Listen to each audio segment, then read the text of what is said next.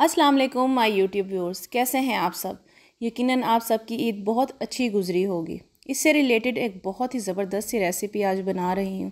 कीमा तो हर कोई बनाना जानता है, मगर आप एक बार मेरी रेसिपी को फॉलो करके ये खड़ा मसाला कीमा ज़रूर बनाएँ। इन आपको बहुत पसंद आएगा। अगर आपने अभी तक मेरा चैनल सब्सक्राइब नहीं किया तो ज़रूर कीजिए और बेल आइकन का बटन प्रेस कीजिए। ताकि मेरी वीडियो की सब नोटिफिकेशंस आपको मिल सकें। तो चलिए हम रेसिपी स्टार्ट करते हैं। बिसमीम किसी भी पतीले में एक कप ऑयल डालें और इसमें दो टेबलस्पून अदरक और लहसुन का पेस्ट शामिल करें। फिर इसे फ्राई कर लें। जब लहसुन और अदरक गोल्डन ब्राउन हो जाए और अच्छी सी खुशबू आने लगे तो इसमें थोड़ा सा पानी शामिल करें। पानी शामिल करके इसमें तीन अदद बड़ी इलायची, एक टेबलस्पून ज़ीरा और एक इंच का टुकड़ा दालचीनी डालकर पकने दें। जब हल्का सा फ्राई हो जाए और इसमें खुशबू आने लगे तो छः से सात अदद साबत लाल मिर्च और कड़ी पत्ता शामिल करें।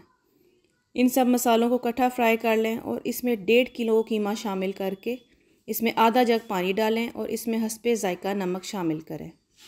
फिर इसे कवर कर कर गलने के लिए रख दें। फिर इसमें एक टेबलस्पून सुरख मिर्च और एक टीस्पून हल्दी शामिल करके मज़ीद पानी ऐड करें और इसे कवर कर दें और गलने के लिए रख दें। जब कीमा अच्छी तरह गल जाए तो इसमें एक कप दही शामिल करें और कीमे को अच्छी तरह भून लें।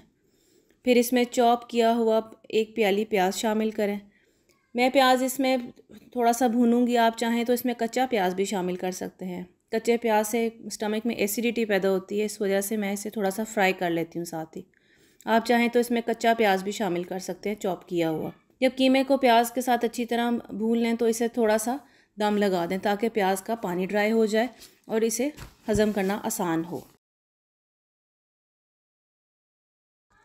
एक फ्राई पैन में एक प्याली कीमा लें और इसमें एक टमाटर बीज के बगैर चॉप कटा हुआ शामिल करें।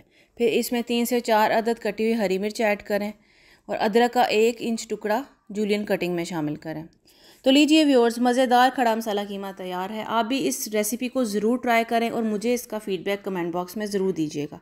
अगर आपको ये वीडियो पसंद आए तो सब्सक्राइब ज़रूर कीजिएगा चैनल को। नेक्स्ट वीडियो तक के लिए अल्लाह हाफिज़।